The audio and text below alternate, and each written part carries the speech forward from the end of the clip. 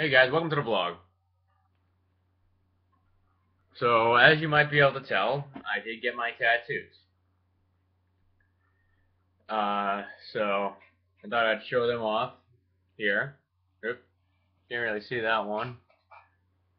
So, let me get into this good, awkward position for you guys. Alright.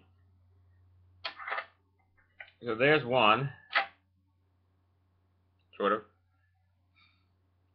Ah, the problem is, is like I have to twist the skin on my arm to spin around so you can see it. Um. Oop, the other way. I want to twist even more. there it is, sort of. You can kind of see the other card. So there it is. It's a Jack of Aces and Ace of Spades on my forearm.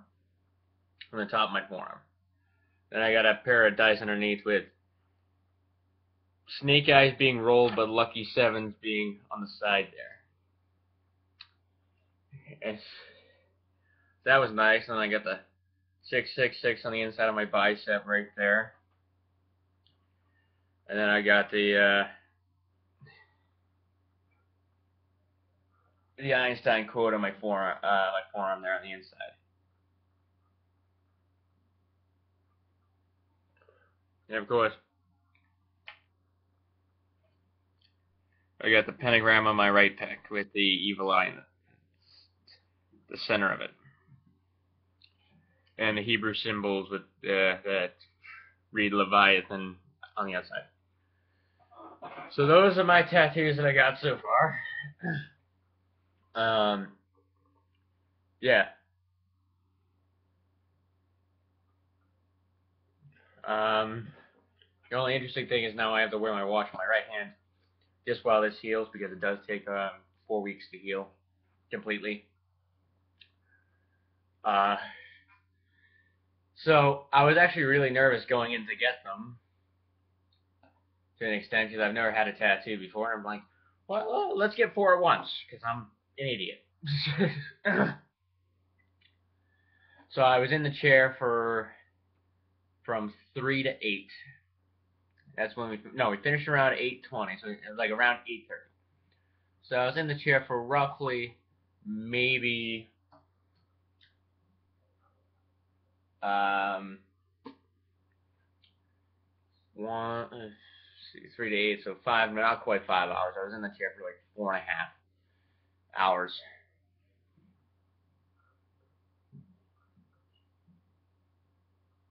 Getting all this done. Now, this one I was the most nervous about, and that's the one we started with, because apparently getting it on the inside of your bicep hurts a lot. But, it actually wasn't so bad. Um, and actually, I'm one of those people who can watch myself being tattooed. Like I don't have to look away. For, you know, I didn't. I did look away for this one, um, because I was I was didn't want to know when they were going in, but you kind of know. um, but I did watch them do uh, her do the lettering and like the playing cards and stuff. I watched that because that was pretty cool. Um, but it wasn't so bad when I knew how much I had left of the tattoo. This one hurt a lot. I was thinking, you know, because apparently it hurts. The pain that you feel is kind of proportional to how much muscle you have in that area. So I'm like, and apparently rib, ribs really hurt the tattoo. And unfortunately, I don't have very big pec muscles. So I'm really, so it's really kind of close to my ribs, and it hurt a lot. So that um so yeah. And also very cool as you get progressively closer to the armpit, it hurts. So you could so it was kind of funny to track the pain as it goes from like kind of over here, which doesn't really hurt a lot, um, or up here where it doesn't really, or yeah, it didn't really kind of hurt over here, but as you get closer to like the like down here, that hurts a lot. So it's kind of interesting to like track the pain but the only what gave me so much trouble about this one, which was so funny, well, it's actually not funny, but this was the last one we did, so I'm already like out of patience.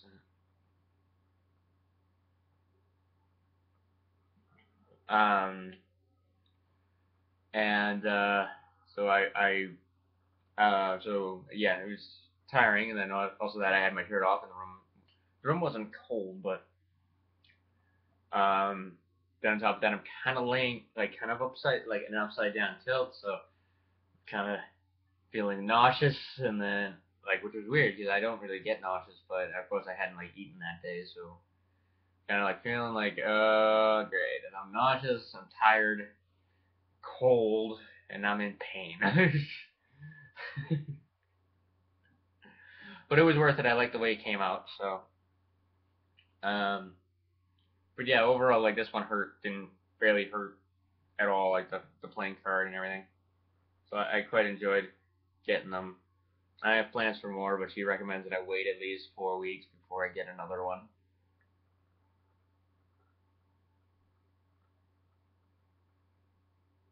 Both because it's kind of traumatizing, because you get, you know, each it's like I forget what it is, three needles for for lines, like to do the line work, I think they have three needles in the machine.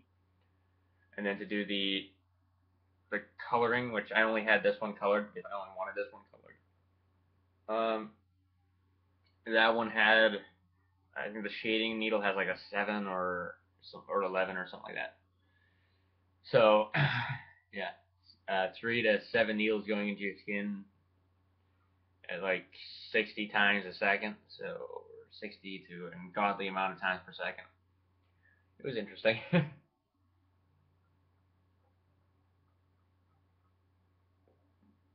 but it's not quite an experience like it because it's not anything I could really compare it to. It definitely doesn't hurt as much as people think it does. Like when people describe it as like, "Oh my god, it hurts," you know, it hurts a lot. You're, you know, it's like it's not that bad, but it's like this one hurt the worst, but like this one I was grimacing over. Like it was, I was like, you know, it, it this one caused me to grimace a little bit because it did kind of hurt. But this this one, these really didn't hurt too much. So those are all the new tattoos.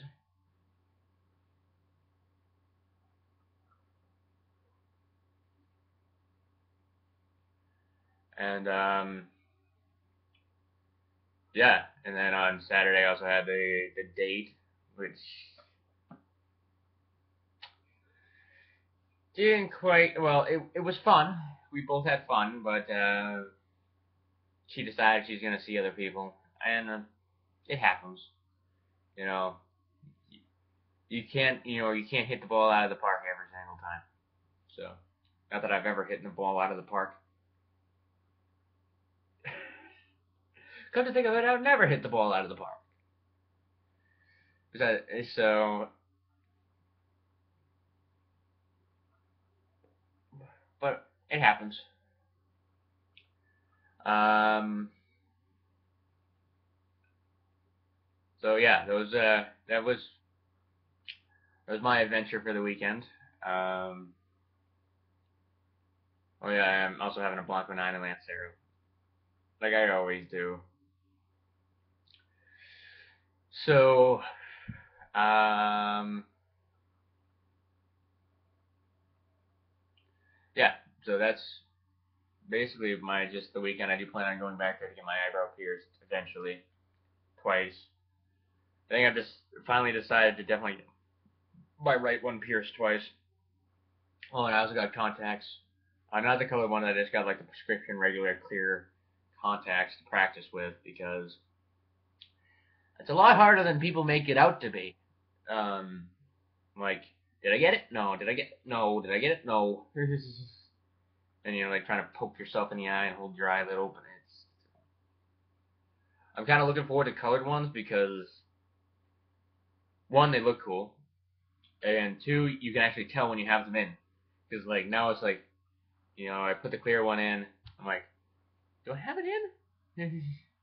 but you can tell when you have it in when you but like getting it out is like you're like, did I get it out? Mm-hmm.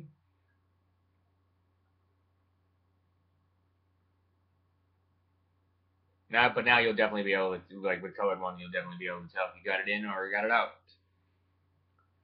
So yeah, I'm looking forward to to that once we get. Uh, I'm going back in a month to to uh, reassess that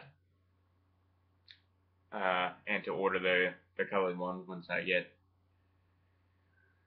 once we had once I uh, get the uh, once I sort this all out with that one.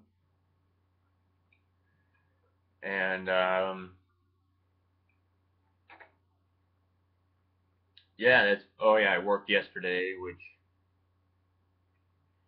every single time I go to that that job I'm like do I have to go? Do I have to go? Do I have to go? Like you wake up in the morning, like, or actually no, because I go in the afternoon, but I'm like, is it worth it? You know, it's one of those jobs where like you dread every single time you go to go to work, so it sucks. You know, it just like sucks all the fun out of just like your day.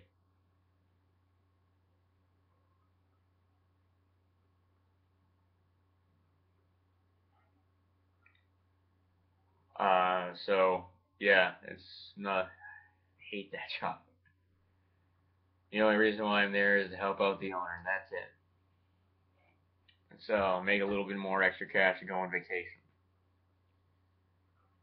Um, but that's it. And uh, yeah, I've just been kind of tooling around. I haven't played tennis in a while. I, I do want to play soon. I actually have a match coming up this Sunday. I'm looking forward to that. Uh, Sunday morning, I'm playing against my doubles partner indoors, which I'm a much better indoor player than I am an outdoor player. So looking forward to that. It's gonna be tough though. I think he's he just I think he just took the top spot in this in his conference as a player for his eight for out of the out of the kids who play in this league in his league he plays a club league. I think he's the top player.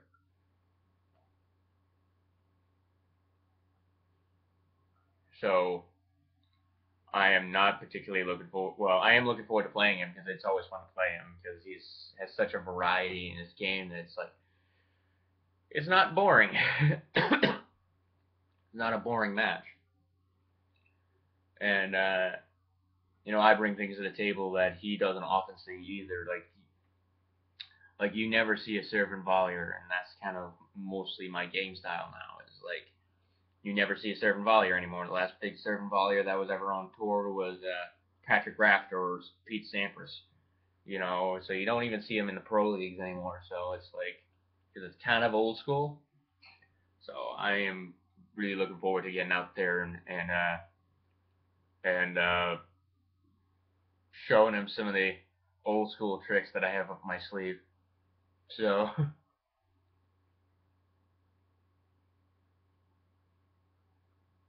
but I'm also actually really determined to beat him too. So, um, yeah, definitely looking forward to that. Um, doing that. Uh, now let me get into reading your comments. Um.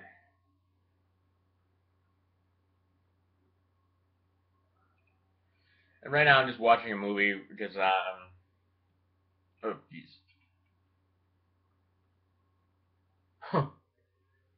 Um, just watching a movie real quick, just to buy time until I stop my physics homework, and I'm gonna bang that out.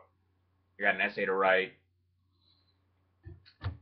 Kind of working on that movie. The good thing about the girl that I talked to, that I went on the date with Saturday, it was fun because we were able to talk about some movies and um, and uh, things like that. So I did bounce some ideas of my movie to her, and she shot many of them down. um, because she's like, oh, well, if you do this, then this can happen, and then, you know, if you make this monster the way you're doing it, you're basically making an almost all-powerful monster, and like, there's no chance that your characters will survive, and your movie will be over in 30 minutes. like, yeah. So I to write in some uh, some weaknesses to the to the to the monster, and then so I have to create more of a variety in the in the characters that I want in the movie. So yeah, so I'm looking forward to to that. Um, and I have an idea for another movie too, so which um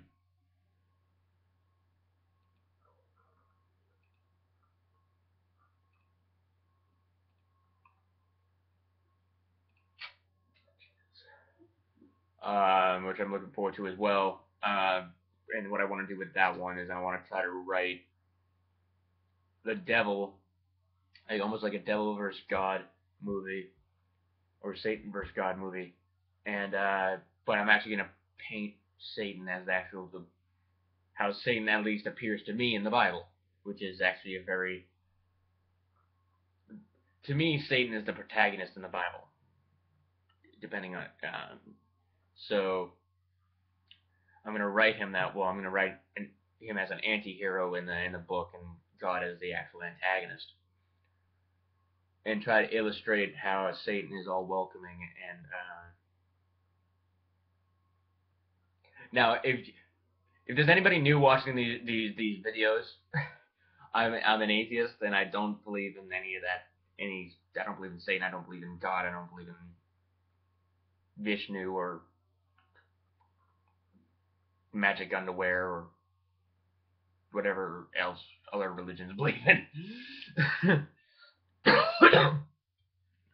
so, um, but at least the way the the devil appears to me in the Bible is the protagonist. So writing him as an anti-hero in the movie should be interesting, and it's sure, certainly going to cause some controversy, especially around surrounding, you know, painting God as as a as an evil entity.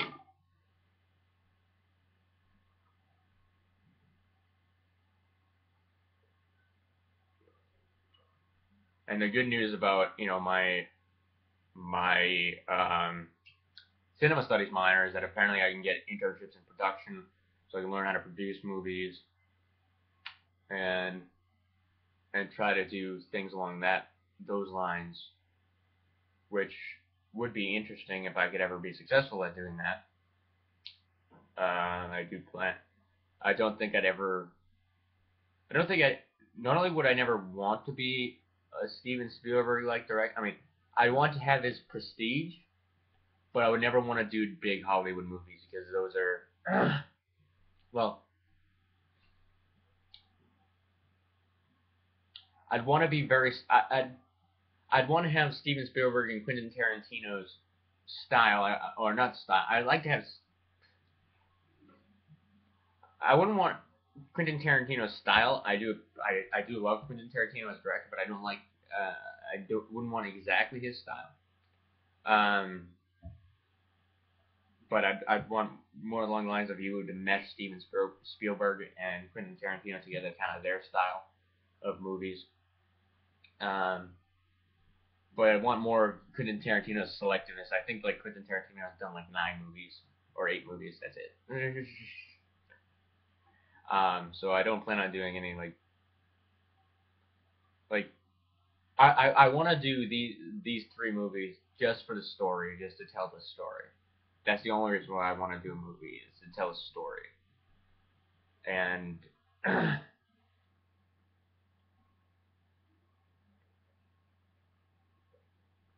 So, yeah. Oh, and another big thing in the uh, so yeah, I just thought of something. Um, but yeah, so that's what I want to do, and then the quick thing that I I just thought of that I just heard in the news, or not just heard in the news. Uh, I heard about it a while, you know, last week. Ron White is running for president and I don't know if I mentioned this, but you know, Ron White, the comedian, is running for president. He's running as an independent, which means he probably will never get elected. Um, which is fine with me because I actually don't want him as president. He is a great guy. I, I think he's pretty funny. Um, though some of the things he said that he wants to do as president has kind of made me go, uh, yeah, I don't. uh, exactly support that.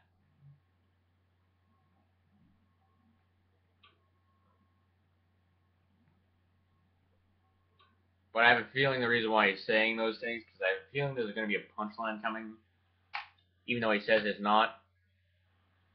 I have a feeling he's trying to parody a lot of like the Donald Trump campaigns and stuff like that. You know,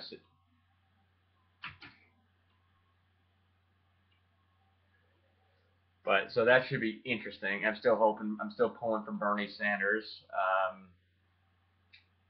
uh, so that should be that should be an interesting thing. But on to reading your comments. So Rory, I see you changed your channel name again.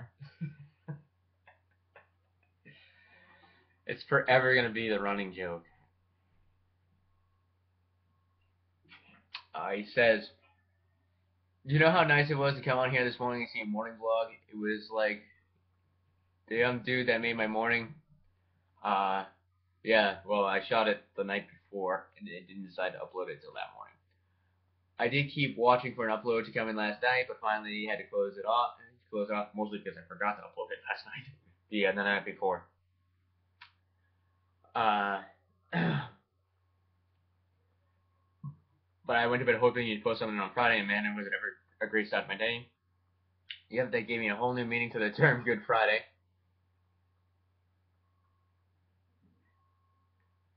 Oh, Mark, I saw that you sent me. A, oh, quick going off topic.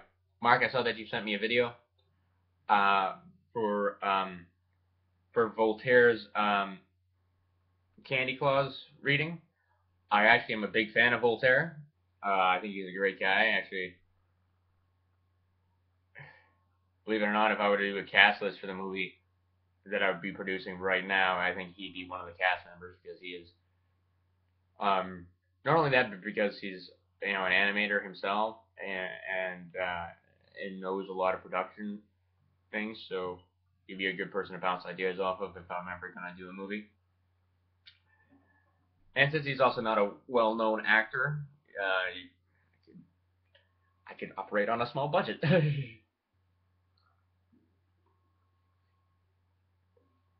of course, we, of course, I had to finish the movie first. I'm getting ahead of myself, but everybody kind of dreams of an ideal cast for a movie that they would produce. Um, so yeah, I, I'm a big fan of Voltaire, so I, I have seen that video already. Uh, um, well, I certainly hope your exam went well. But knowing you, I'm sure you have nothing to worry about as you're a good student. good student, yeah, right. And to yourself, um, I am a semi-good student. As my professors say, you like well, I know you have the brains to do really well in your this class, but you don't show it. Um, I always run into the problems where if I'm not really interested in a subject, I, I don't really pay attention to it. Uh, or if I'm like, I'm sure if like all I had to do was go to physics, I'd love it. But unfortunately, with all the other classes and like the time constraints, like I don't like the last thing I want to do is is go to another class or go to but like this, oh my oh yeah, this is the probability class. That one I just, you know, I missed a lot of classes in the beginning because of the car issues, and you know, I'm kind of just being overwhelmed with work and stuff, so I don't.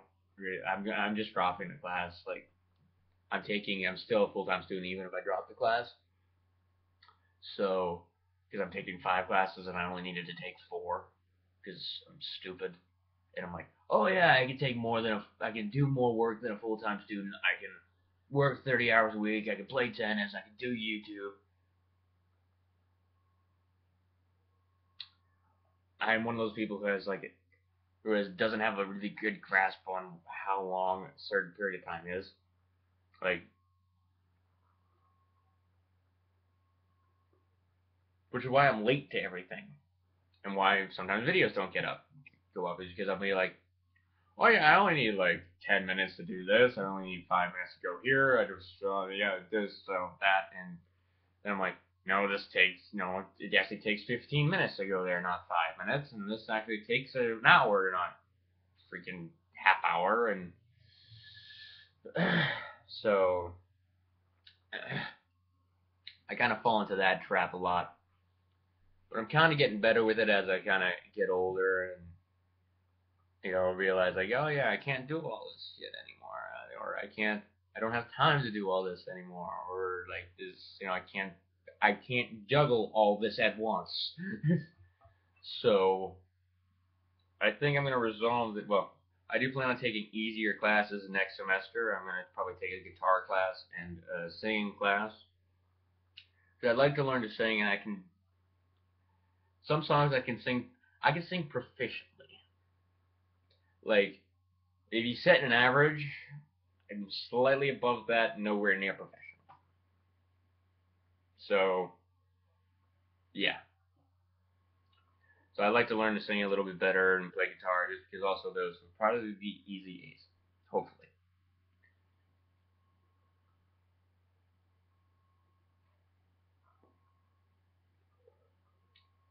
Um,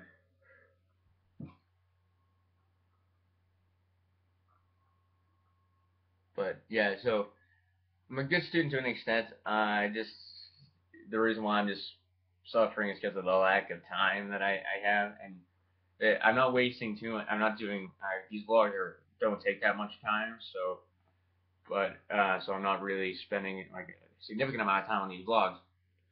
But it's more like work is kicking my butt and and uh, things along those lines. So yeah, but you gotta make that money because uh, so it's like you gotta make money.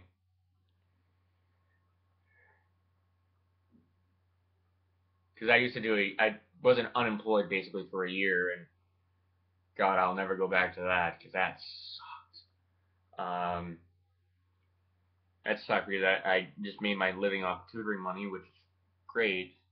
You know, you make, you know, I'm making last year. I, I think I boosted, I raised my rate this year to 25 an hour, but I was making 20 an hour last year. And I had like six clients, so I'm like, ah, oh, $120 a week. Yeah, it's not bad, you know, for a college student, especially one that's you know double majoring and playing tennis and doing all that fun stuff. But the the problem with that was is that when you when a bunch of clients cancel at once, all of a sudden you go and no client for some reason I would never get a week of just solid clients. You know, every client booked me that week. I'd only get like only like three. So I'm like, okay, well now I'm making 60 a week, and gas is 30, and then you know, God knows what the other 30 will go to, probably food. So I'm like, uh, and yeah, it sucked. Um, and uh, so I will never go back to being unemployed again. And now I'm like, okay, I want to make money, so I don't. I'm like, like if you if you ever do a year of being unemployed, you and you get a job, you're never going to let go of that job. You're going to constantly try to work as much as you can because you don't like. My thought is I don't want to fall back into that because that was like I was so much like with my you know I was unemployed also the year that my mother was in the hospital. So like I'm constantly like really low on money, really low on funds, uh, also dealing with that. So like the money stress, you know, the, the mother, you know, mother being in hospital stress, and then, you know, along those lines kind of sucked. So I don't want to be in that position again.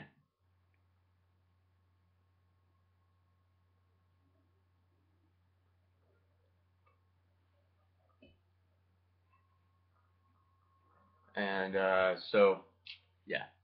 And yeah, I can tutor myself to an extent, but it, it requires, um, yeah, it's just it's it's tough to just, you know, with the time constraints to be able to like dedicate, you know, you know the the needed amount of time to each class. And he says, "Thank you for clarifying the monster concept for me a little bit better. Demon, demons and ghosts are are real and uh, wait, uh, skipping lines. Thank you for clarifying the monster concept for me a little bit better. Demons and ghosts. That should be real spine. That should be a real spine-chilling, goosebumps, thought-provoking film. Because I believe, because because I believe demons are real. And two ghosts and ghosts are too. I'm sure The Exorcist scared the hell out of most people who saw it, myself included. And you ever saw the HBO unedited version? I actually have not watched The Exorcist. I want to see it. Um, that that regular TV wouldn't air with all those scenes left in. It was even more scary. That'll make a Catholic want to keep a crucifix close by, especially if you're watching it alone. As for ghost movies, I can't recall too many of those I've seen. Is there a difference between ghost and a spirit? In my mind, not really. Like a poltergeist. Uh, to me, I don't really believe in or subscribe into any of those stuff. Like, um, so like, you know, I, you know. See, the thing is, it's it's actually quite funny, um, because I guess you can't, you know, you don't have to believe in God to believe in in ghosts and spirits because, um, but like to me, like I'm always one of those people like unless you can prove it, um, you, you know, I don't really subscribe to it. And while the Ghost Hunter shows are very provocative, I actually don't think what they're actually doing is gathering good evidence. Mostly because those EM meters are, you know, measure electric fields, which people think, oh, that must be a ghost. I'm like, no. Actually, I'll be right back. I'm going to grab another cigar and put a shirt on because I'm cold.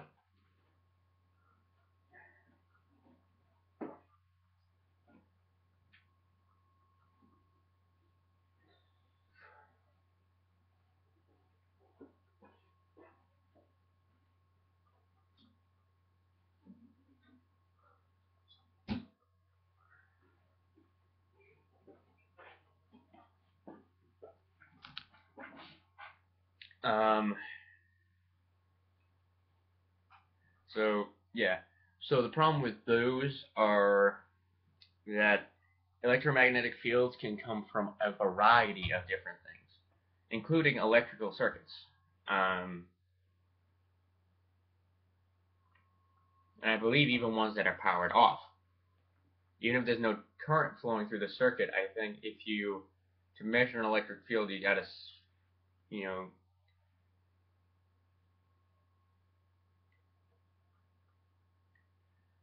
you can generate a lot of things can generate an electromagnetic field, even circuits. Even you know, if you measure by a light switch, I believe that you'll register an electromagnetic field.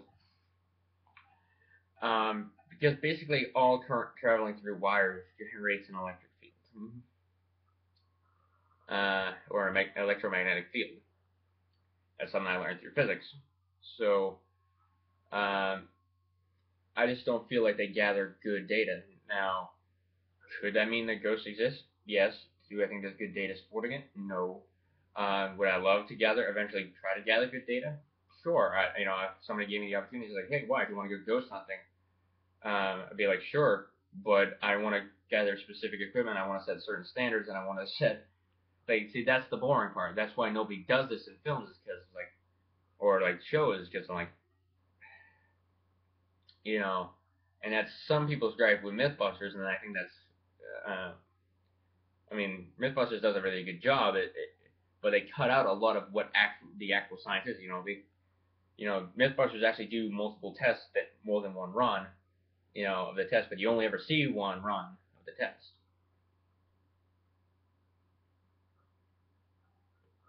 Because people get bored.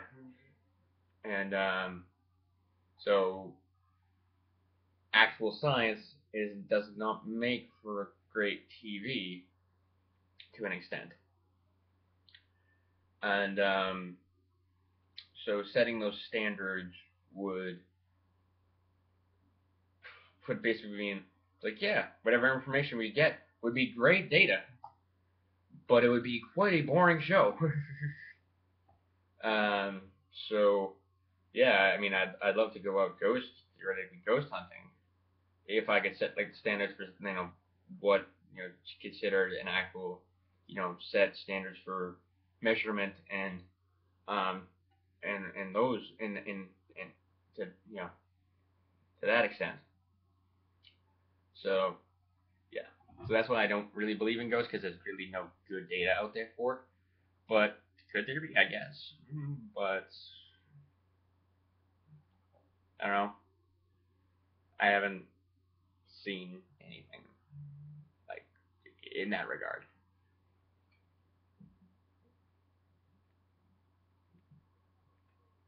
My nephew that I mentioned who saw Nightmare Before Christmas with he is a big horror movie buff. Uh, loves them. I did go back and Google that vacation movie that came out this summer and watched a few trailers.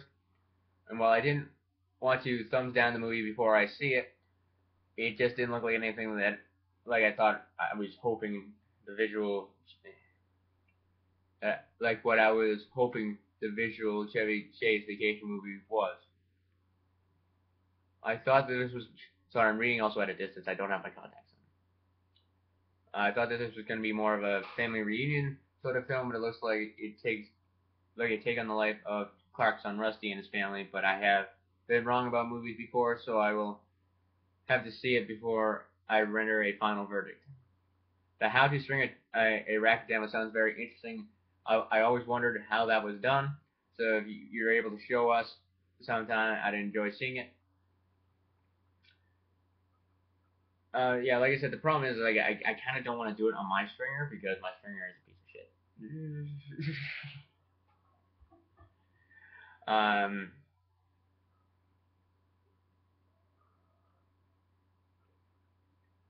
be kind of curious if Sports Authority would let me do a, a, a stringing, uh, you know, demonstrate how to string on that machine, because then they, I guess they could also use it to teach others how to string. So that might be interesting. Might see my boss will let me do that. As for my channel, I think anyone visiting it is going to be in for quite a shock because I've taken my theme to a whole different level, and I do mean different.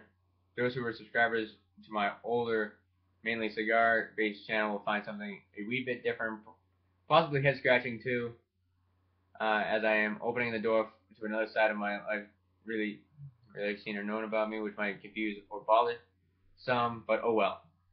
And while it's not meant to be all about the darker side of who I am, but it's more of a random channel that shares a little bit more than just my love of cigars, which I will always have. My theme for those wishing to know what is Dark Rainbow Ro Romeo can be explained by going to my channel's description page, and I will still be making videos from time to time, as you can see. One of which was a still picture of a vacation I took to Universal Studios when I was went to Disney World with my mom, my nephew, and his friend. Yeah, I, I saw a, uh, a, a few of those. It was pretty cool. It, good pictures.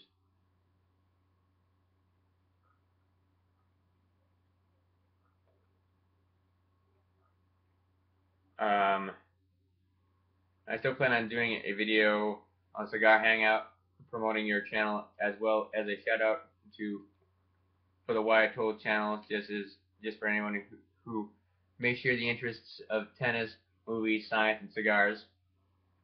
And I hope your upcoming date will be both entertaining and a success. Fortunately not, but it happens. You know, I don't blame, you know, her anyway. She was she was a very she was a very lovely young woman, and uh, so wish her the best.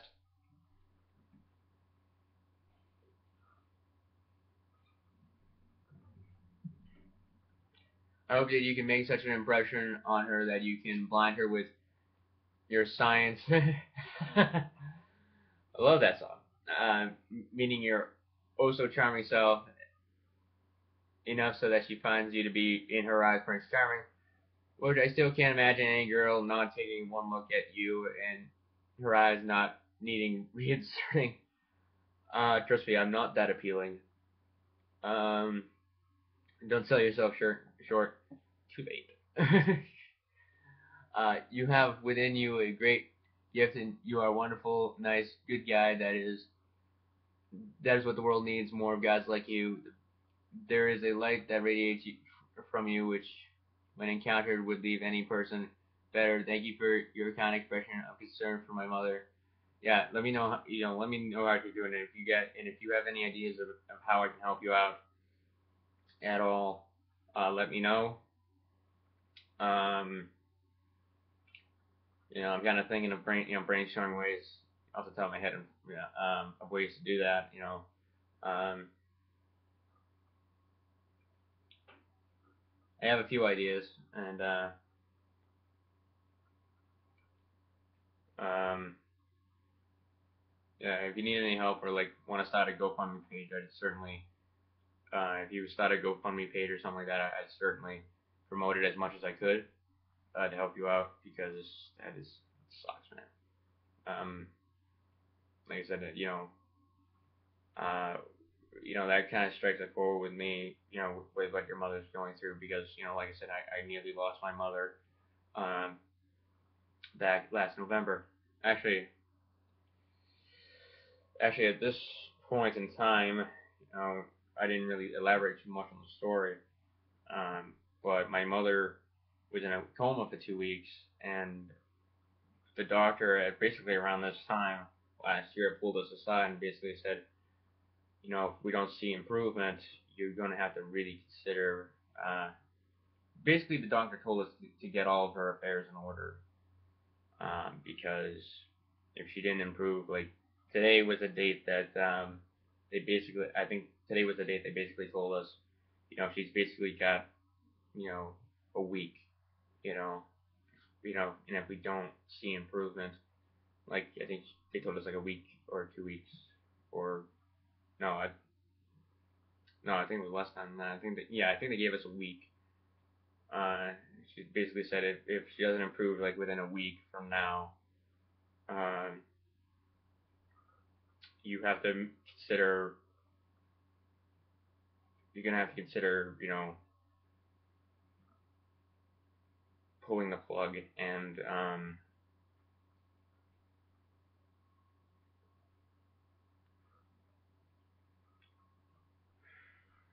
and um, yeah, that was yeah. Basically, they they they told us to start arranging. Uh, you know, basically get ready to bury her. Basically, you know, at that point, they basically said, you know, she doesn't get better within a week, start getting ready to to to to bury her and and um, so and within three days of getting that news, she actually came out of the coma. So or or started to to really improve. So I was yeah, it was it was it was like it's almost like she heard that and was like, okay, time to time to get out of here, you know, time to. So it was.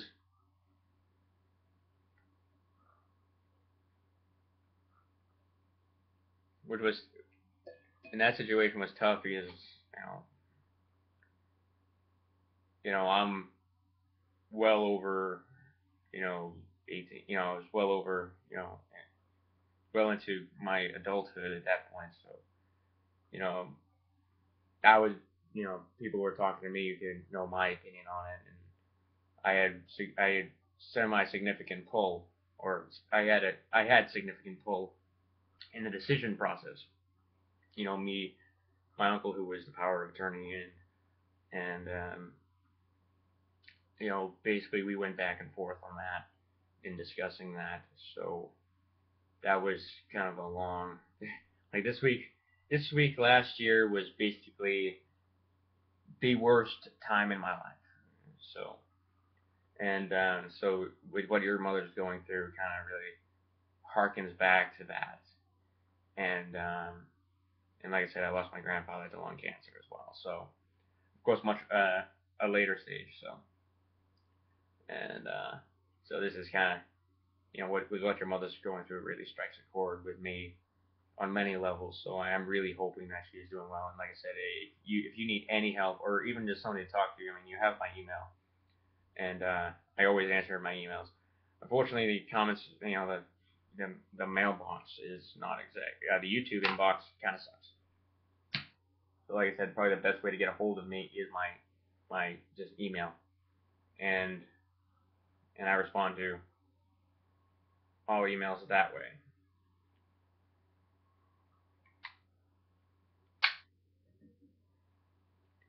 So.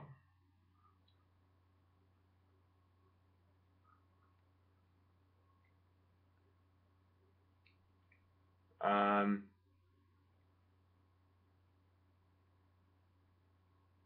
and he says um, she was she was to have surgery today, but has been postponed until next Tuesday due to be, being on blood thinners, which thankfully they caught just in time. So her stay in the hospital is going to be a long one this time, but our family is determined to do everything within our power to do all we can for the sake of my mother. I'll keep you posted, but in the meantime, know that I, I so appreciate your friendship and your vlogs are a genuine day booster for me. Hope hope that your test went exceedingly well. I didn't. Rory. Yeah, like I said, like I said, man, if, if you need any help at, uh, at all, uh, let me know. If you need, or you just, you just need somebody to talk to, you know, like, like I said, my email, or if you have Skype or someone else Skype with you, if you need, if you need somebody to talk to at all, um, with, you know, with what's going on, I'll be willing to do that um, because you know everybody in that situation needs somebody to talk to, and um, because it, it, it's kind of it's it's horrible to go through that on your own, and um, I'm thankful for the people that were around me when when this whole thing like that's why I'll always be thankful to my cousin and his girlfriend uh, who were with me on the cigar uh, on the uh, Halloween live stream because I mean, it's not as, it's not a great influence to go out drinking, but um, it's just you know something to do to just take your mind off of it, you know. So I mean, it wasn't. It's not good, but it was better than you know. You just, you just need somebody to talk to and to vent to and to. Um, so if you're if you need somebody to talk to or, or anything at all, just let me know. I you know I can do what I can. I mean I, I so if you create a GoFundMe me page. I mean, I, I can we can try to do something like with that. Like, um, I do plan on attempting another charity live stream in a couple months.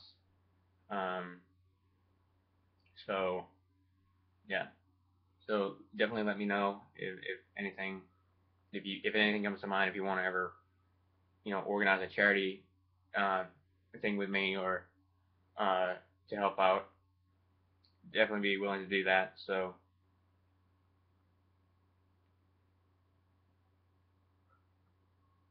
Just let me know.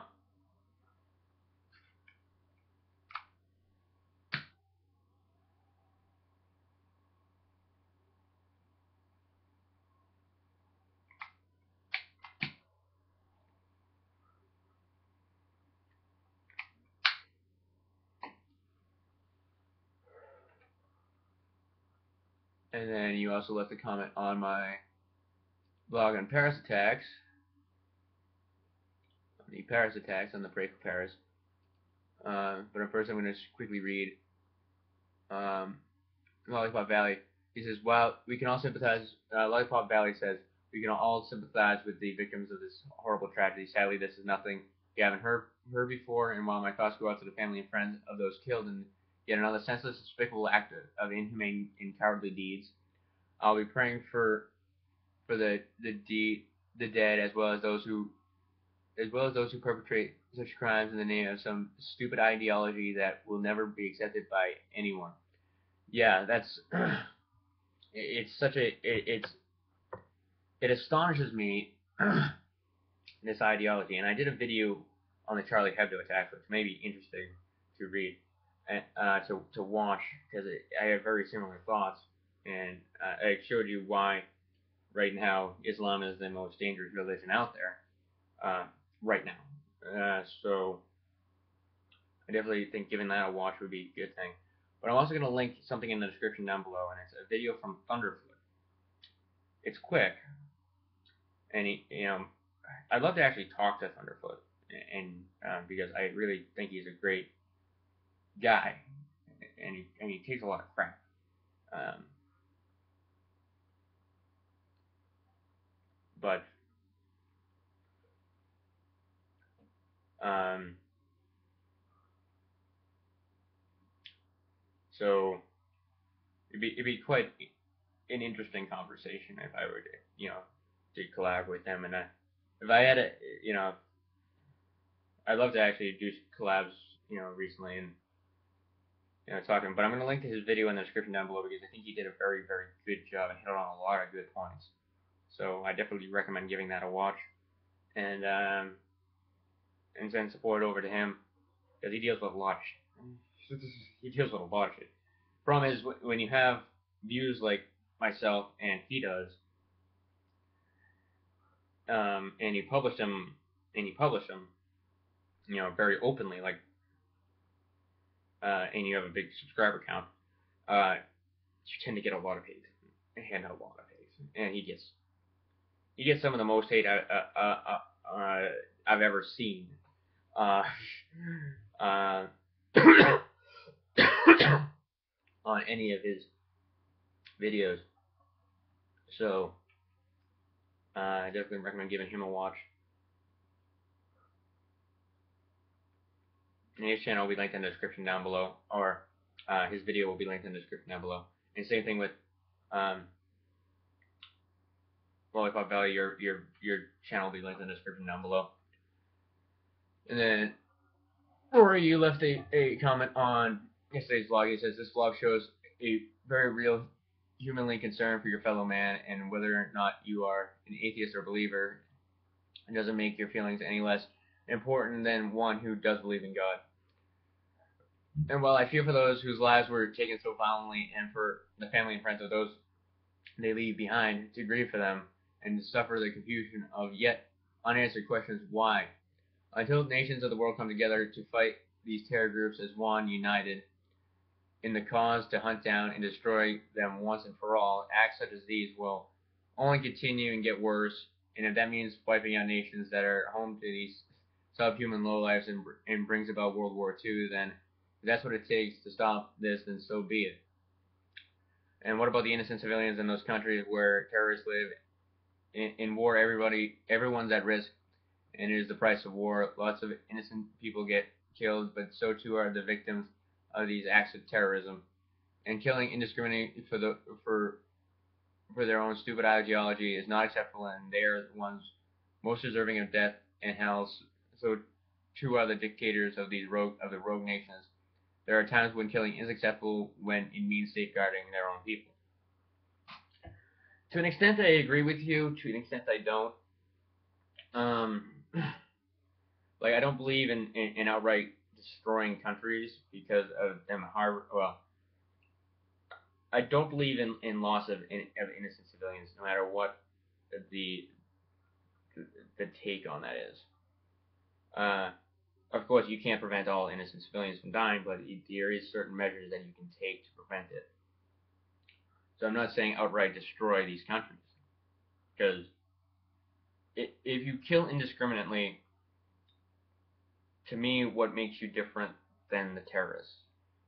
Um, because perspective matters. Uh, from our from our perspective, if we were to do that, I, it would. I mean, it wouldn't be good that we were doing it, but you know, we could understand that. You know, or to an extent we could understand it to an extent. But if you look at it from their perspective, if you look at it from a perspective of the innocent people there, while they know that there's people in the country that are doing bad things, we would appear to be a, a very evil entity to them because we're indiscriminately killing them, believing them all to be terrorists. So we to them would look no better than the than the people committing these acts. And and while I do believe I'm, I'm generally a pacifist in in real life, and, I'm generally a pacifist in that regard. I don't believe in war um, almost at all, except in very very niche cases, like in World War II. I, I did support that. I, I did support um, that for many reasons because sometimes the only solution to stopping atrocities now are like stopping atrocities like that needs stopping immediately. And I'm not saying that these don't need stopping immediately, but that's the only way to stop them immediately. And while I think that the you know to eliminate the Islamic State, that would need stopping immediately. So that would require um, military action. So I said I'm on board with that. But that's not a permanent solution. Because as we've seen, we you know we take out the Taliban and uh, or the you know or we, we basically crippled the you know crippled Al Qaeda and the Taliban, but the Islamic State popped up as a result. So it's not a question of basically you play whack-a-mole with the military. So you know if you can imagine you know all these terrorist groups as being the moles and the military being the the you know the hammer that you're using to to knock them down, you can play whack-a-mole to to the end of time, and you're not going to stop these terrorist groups from popping up. Um, because you know you knock down one and three more pop up, as we've seen. We knock down the Taliban, ISIS pops up, or um, the, the the terrorist group in Africa, which let me look that up real quick.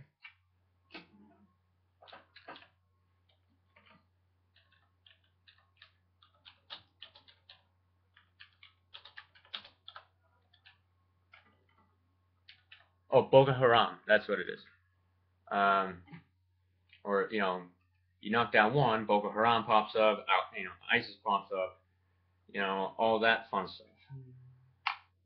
So, but to an extent, you need whack You need to play whack-a-mole.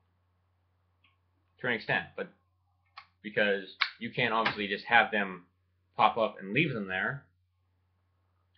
So you need to knock them down but you eventually need to unplug the machine to stop them from popping up. So you knock down the ones that pop up, but you need to have some secondary, uh, you know, secondary attack to keep them from popping up. And that's not going to be a military strike, because a military strike, you know, V for Vendetta had a very good quote on this. Uh, the the you know um, the the character V said, you know, ideas are bulletproof, and they are. You know, no matter no matter what you do, you cannot destroy an idea with violence. And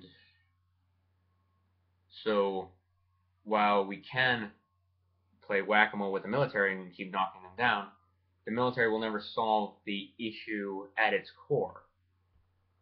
Um,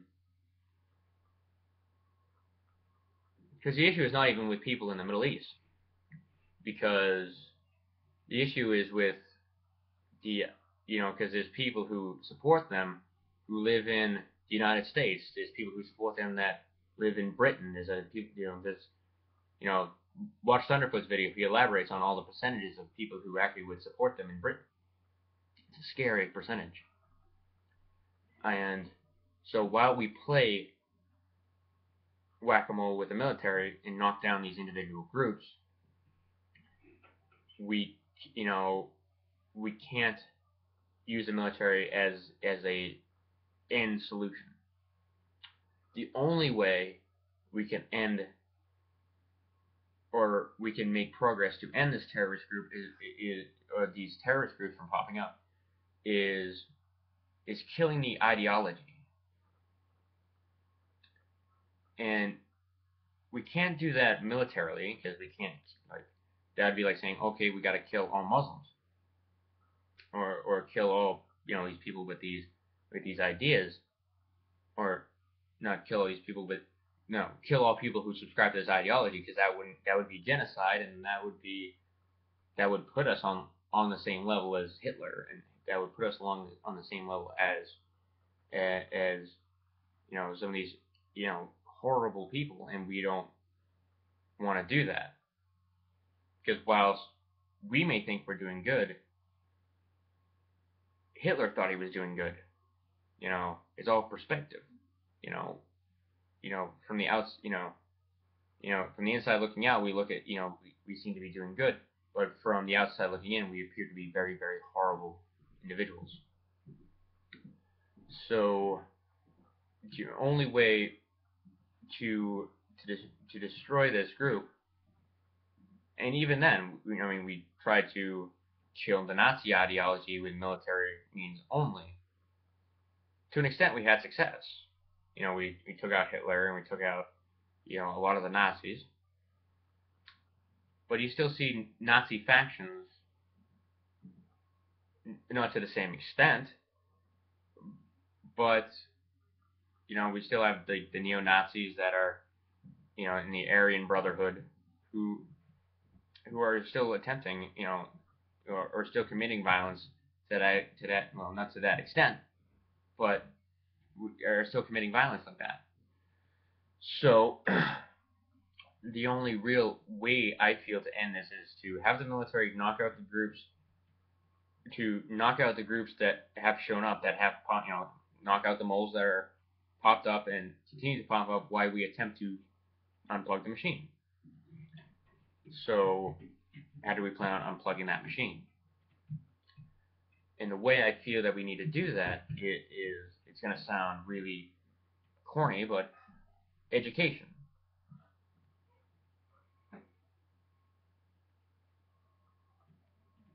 Billy Connolly had a great joke, sort of a great joke.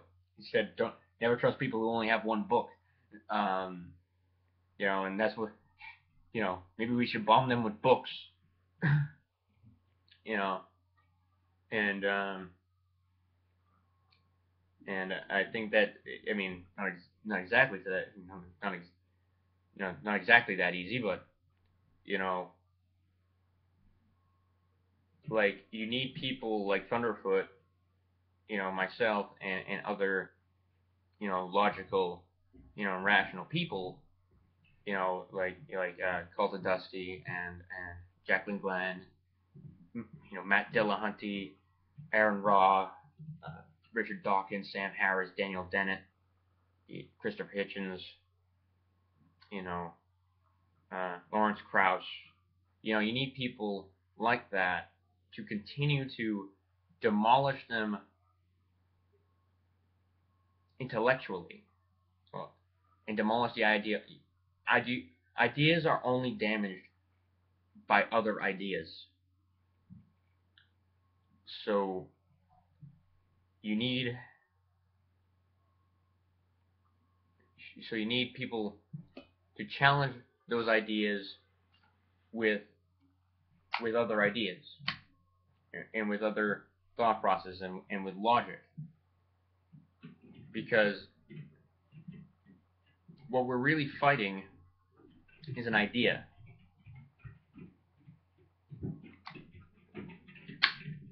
And if, if we don't, if, if we try the pure military action like we did in Iraq and Afghanistan, we will end up with the same result with another terrorist group, either better or worse than the one we have now. You know, um, and and that's going to be a problem. So it's not really the it's not the Muslims that is a problem. It's the whole ideology itself that's the problem that gives rise to these this this thing. And, and like I said, the, an, an idea is bulletproof. Or and um, so, well, I understand where you're coming from. I disagree with you in that regard. I don't think, you know, we can play whack-a-mole to the end of time, but you know, it's going to be an infinite series of whack-a-mole, you know. And then it's not until we unplug the machine by destroying the idea by using, you know, reason and, and, and other ideas will we ever succeed. So, and, and, you know, to say that, you know, I can see where you're coming from, but the, the, the, loss of life will, you know, like I said, you know, if we're, that would be basically outright genocide, and that would not make us any better. You know, it, it would look better. You know, it would. You know, like I said, it's perspective. It it, it looks good. You know, it might. Or I mean, it'd be, be horrible, and we think it's horrible, but you think it would be. It sound more reasonable to us, but to for them, it would seem incredibly, incredibly uh, horrible.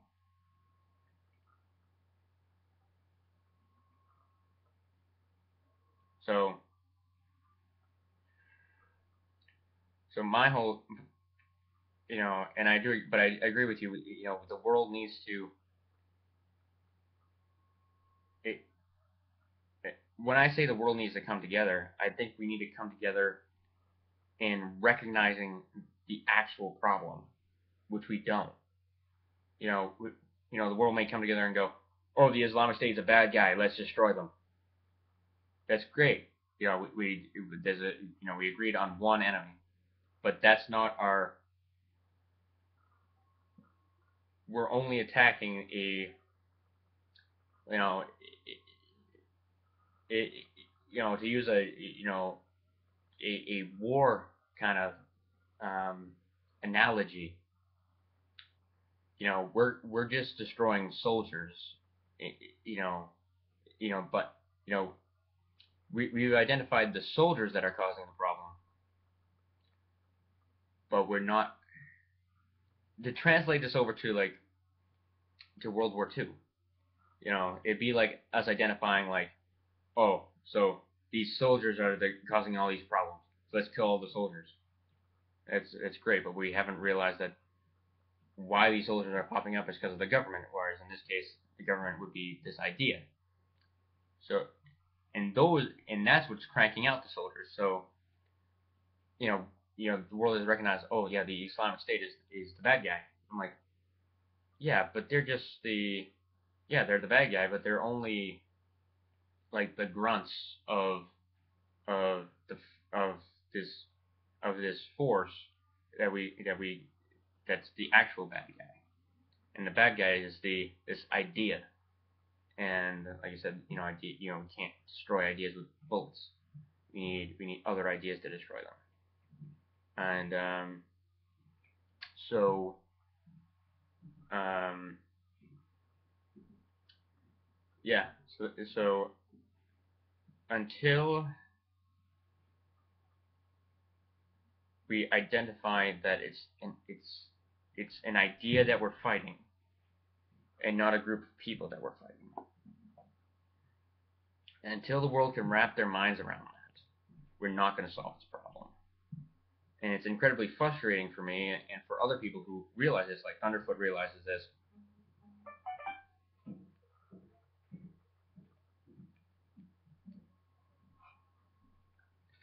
Thunderf00t realizes this, um, and um, and and others do as well but no government has yet to identify this as the problem.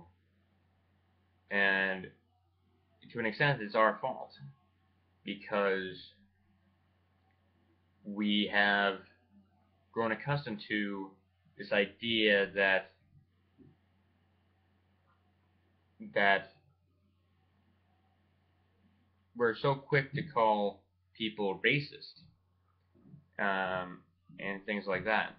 Like, like I once said this and, and was called a Nazi because I said all these, you know, is you know Muslim, you know, Islam is the is the most dangerous religion, and and and um, uh, because you know we have so many people who just will go, you know, oh, but no, this you know this is you know it's not all these people, you know, it's not this idea that's the problem. It's these people that the problem, or like, you know, uh, you know, because they want to they don't want to seem, you, you know, um, incredibly, uh, or you know, the Sam Harris and Bill, the Sam Harris, Bill Maher, and Ben Affleck thing, that is is the problem.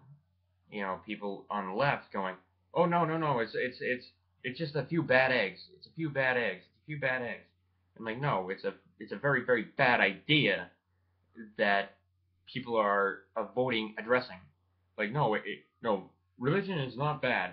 Religion is not bad at all. It's it's it's just a few bad eggs that take this religious idea to an extreme. I'm like, no, but this religion is the breeding ground of those people. If you destroy the breeding ground of these people, you will, or the breeding ground of, you know, religion is the breeding ground of, of the of the terrorists. If you destroy the the breeding ground, you're gonna stop the terrorists. You know, you, know that's that's another good analogy. It's like it's like, yeah, we can keep destroying the terrorists, but until we destroy the breeding ground of, of these terrorists, which is religion, which is this idea, we're not going to solve the problem.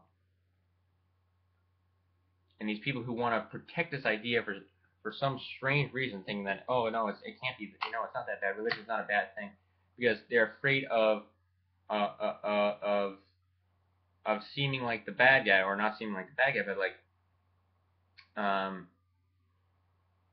but basically, uh, it, it is too much of this, uh, this, this, this live and let live on the on the on the on the left, you know, because people think of, of of a religion as like a group of people, and it's not. Religion in itself is an idea, and and and hating an idea is not the same as hating the people involved in the with the idea. So, like I always say, I hate religion. That doesn't mean I hate all people who are religious. Um, so, but people th- seem to think of when I say I hate religion, I hate all religious people. No, I don't. You know, you know, there's there's some there's some religious people who I, I quite you know enjoy talking to. You know, my my mother to an extent is religious. My you know my uncle and all my you know my family. I hate religion. I don't hate them. You know, and same thing. So it, it's just it's a whole it, you know it's a clusterfuck of of uh of just just a whole bunch of of bad ideas that are causing this problem. And until we can destroy these ideas, we're never going to solve it. And until we can identify, you know, first we got that one idea like uh, uh, of of people not, you know, of hating ideas, and that doesn't mean hating the people. Until we get destroy that idea, we're not gonna then identify this idea as the root of the problem of the terrorism. So, um, so, yeah, that's that's my whole spiel on on, on that.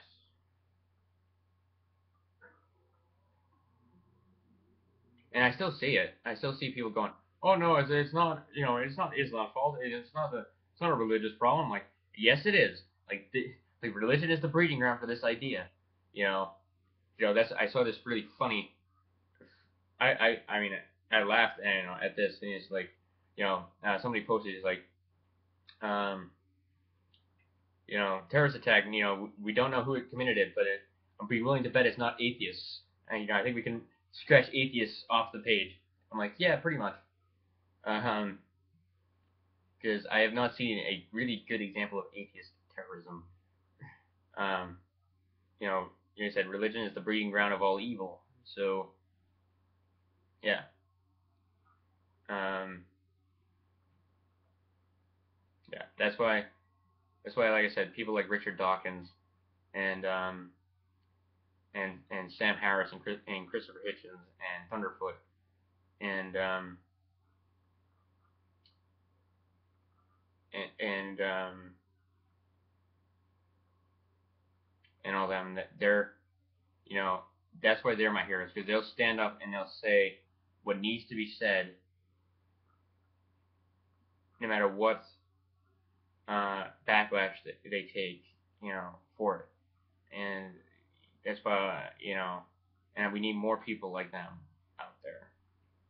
So and that's why we need to all as like non-believers and, and to speak up against it you know, speak up, speak out against religion. Like it's now, I feel it's like at every atheist's job to, to, to challenge religion because religion is, you know, the root cause of this, and we can't be afraid for, uh, uh, uh, of, uh, of backlash for it because our, our, our fear of backlash is what's causing, is what's allowing religion to exist as a breeding ground for these bad so,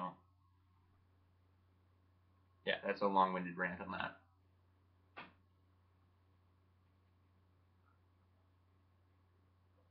Um, and then I got a, another comment on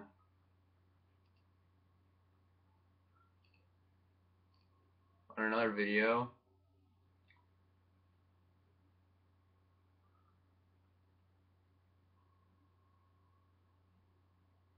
Somewhere.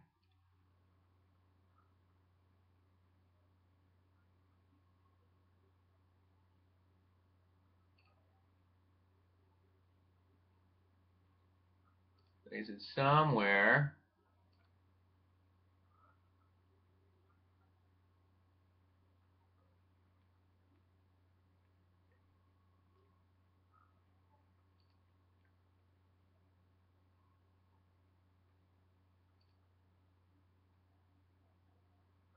Somewhere.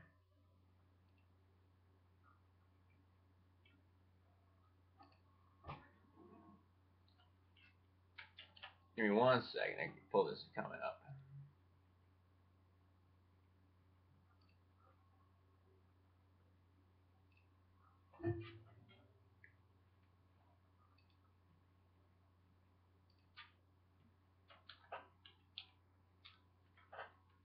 But what are you guys? What are your thoughts on this? Like,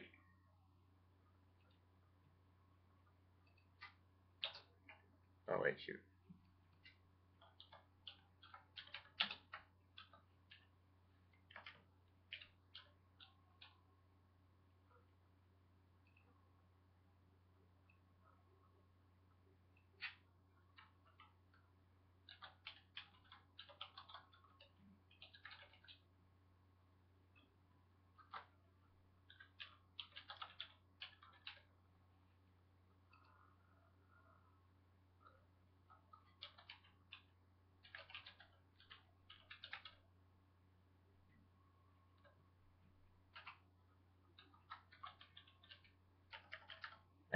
And Cash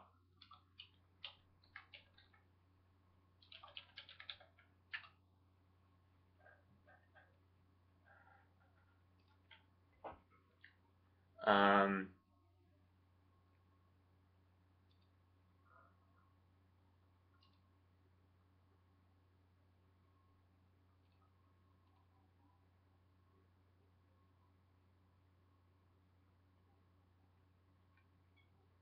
uh, see. Uh, not that one.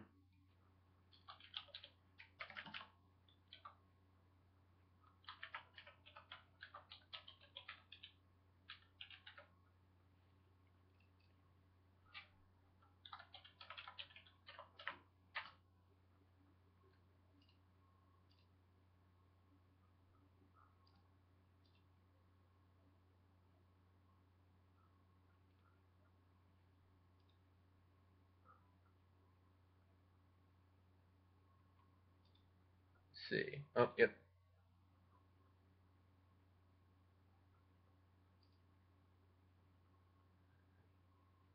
So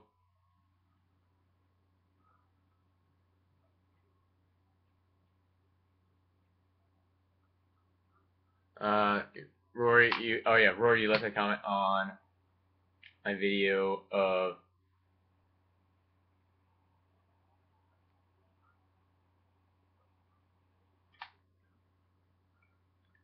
of um, on Towle Tutoring. Uh, he says, "Yeah, that sounds that that really sounds fun, but you know what most people would do when they see that? Say, see ya, I, uh, uh, and you'd have a serious." You'd have to be a serious math lover to give a damn about such an equation. I am neither a math lover or give a damn. yeah, I mean, some some of these. What video was that? Oh, that was a simplifying that. Yeah. Yeah, the problem with that is that I see that a lot in schools, and that annoys me.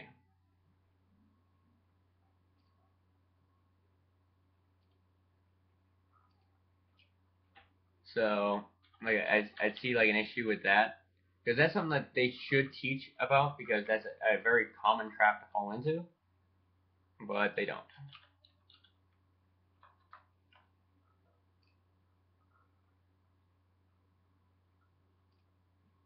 So, yeah, that's uh, my issue with that.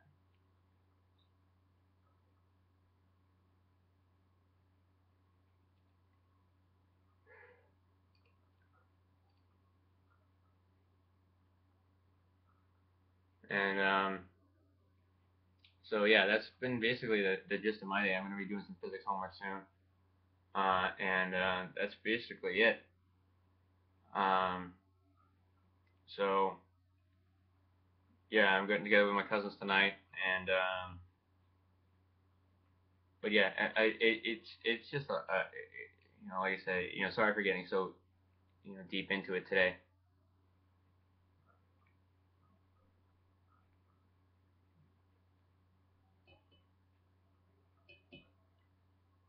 Um, but yeah, I'm ending this cigar. It's not that great. Mm-hmm. Giving a pain in the neck. And I'm running low on cigars. I have like four, five left. or Oh, six left, including this one.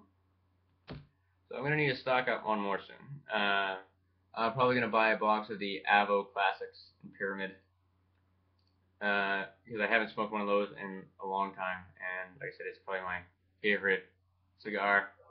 So, looking forward to doing that. And um, but until then, I will see you guys in the next video. Bye.